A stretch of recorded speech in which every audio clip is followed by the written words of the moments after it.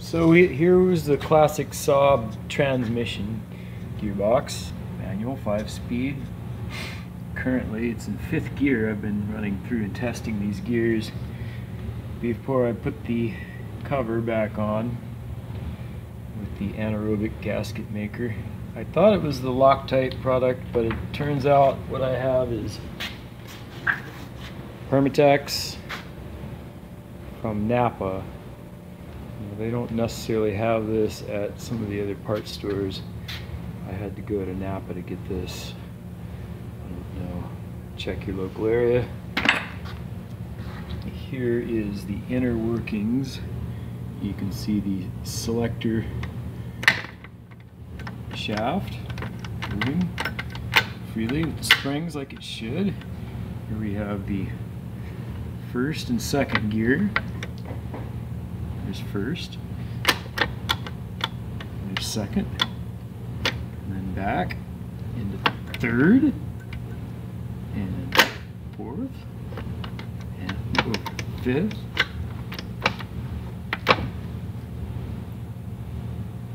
And out of fifth, and into reverse, which pushes that gear over to engage the reverse. So it seems like it works really well. I'm to go ahead and put it together and we're going to mate it to this engine over here which is all ready to go. A little bit of fuel line work to do, a couple other odds and ends, but it's ready to go and the Saab which has a new windshield will be receiving some body work and attention to the painting. I have CRX I'm working on, it needs some body work. I'm going to be doing some of these repairs as well as the front bumper of it this weekend. And uh,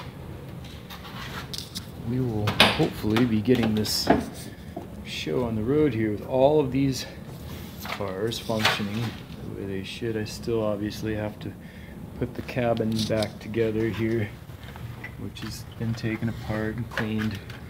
There's a little bit of welding repair on the inside. I did mess around with the welder. I know it's not a beautiful weld. It's my first real welding experience, so I was just on a learner's curve here, but I managed to use an area that's not going to be seen to practice.